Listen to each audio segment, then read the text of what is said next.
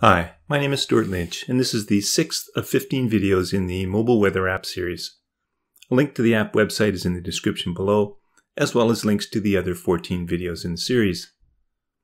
In this video, we'll be beginning to develop the full mobile weather application for iOS. Make sure you subscribe to my channel and ring the bell to get notification when new videos in the series and others are released. If you like what you see, give it a thumbs up and if you feel inclined to support my work, you can always buy me a coffee. I'll leave a link in the description below. No pressure. Well, now that our testing is out of the way, it's time to start creating our actual app. I'm going to start by getting it functional, but it won't be pretty. I'll be using some pretty novice techniques that would not be considered best practice, and my plan is to keep improving on the UI and the architecture over the course of the remainder of this series. The way I'm developing this app right now is how I started developing apps, and I had no idea about structure.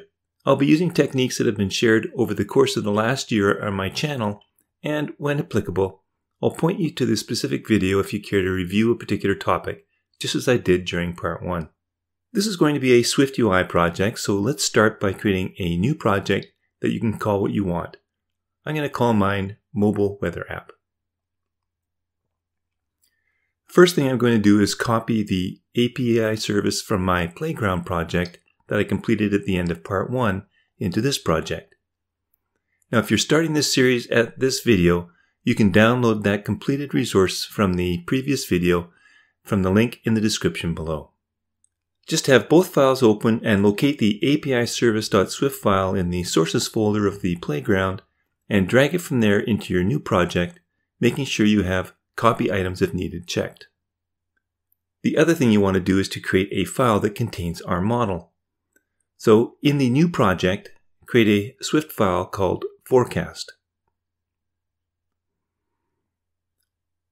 Open the Weather App Playground and copy the forecast struct from there and paste it into your new file.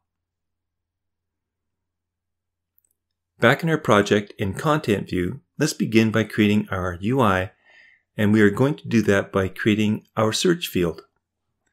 For this, I'll use a simple text field, but I'll need to define a property for that.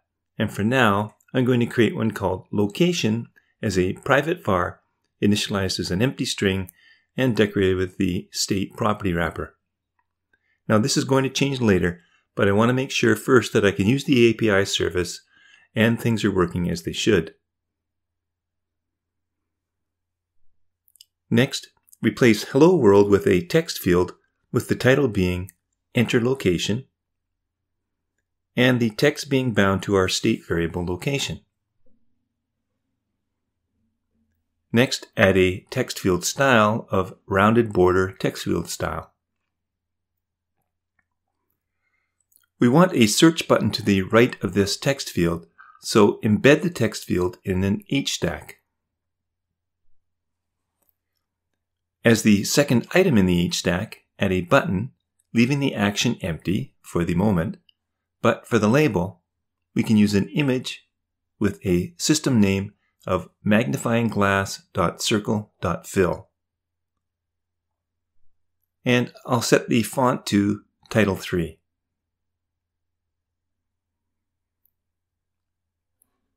Now embed the H stack in a V stack and add a spacer as the second item of the VStack to push our search field up to the top. Add some horizontal padding to the VStack. Next, embed the VStack in a navigation view, and then set the navigation title to Mobile Weather.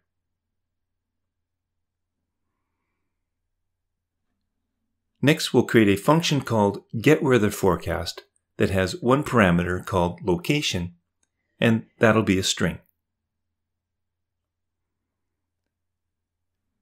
And back in our action for our button, in the body, we can call this function using our location text view string as the argument.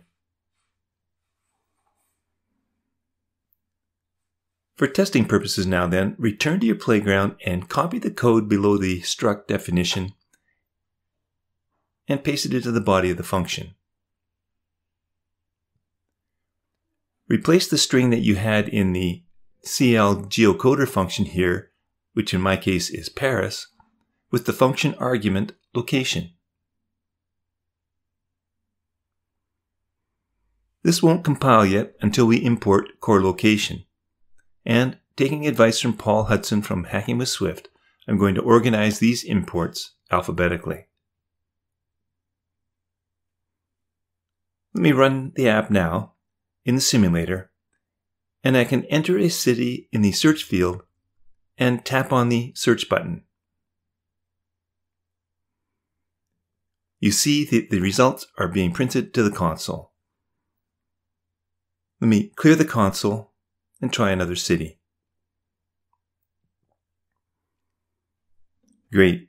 We know it's working now, so the next step is to present that information in a list view instead of in the console.